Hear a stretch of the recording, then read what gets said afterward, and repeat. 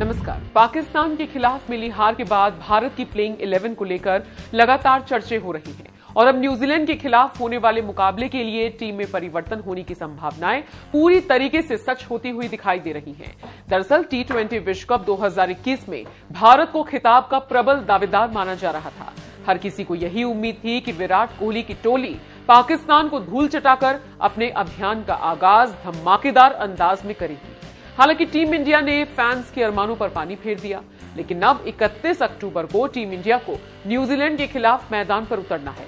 इसीलिए kiwi team को मात देने के लिए नई स्ट्रैटेजी तैयार की जा रही है।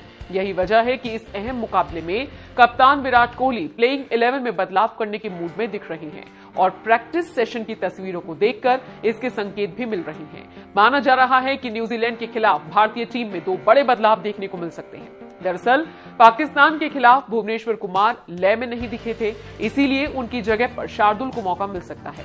प्रैक्टिस सेशन में शार्दुल ठाकुर जमकर मेहनत करते हुए दिखाई दिए। इसके अलावा, हार्दिक पांड्या भी प्रैक्टिस सेशन में गेंदबाजी करते हुए दिखाई दिए हैं, जो कि भारत के लिए एक राहत की खबर है। लेकिन उनका हालिया प्रदर्शन बेहद खराब रहा है। इसीलिए उन्हें भी न्यूजीलैंड के खिलाफ टीम से बाहर किया जा सकता है और उनकी जगह पर ईशान किशन को मौका दिया जा सकता है।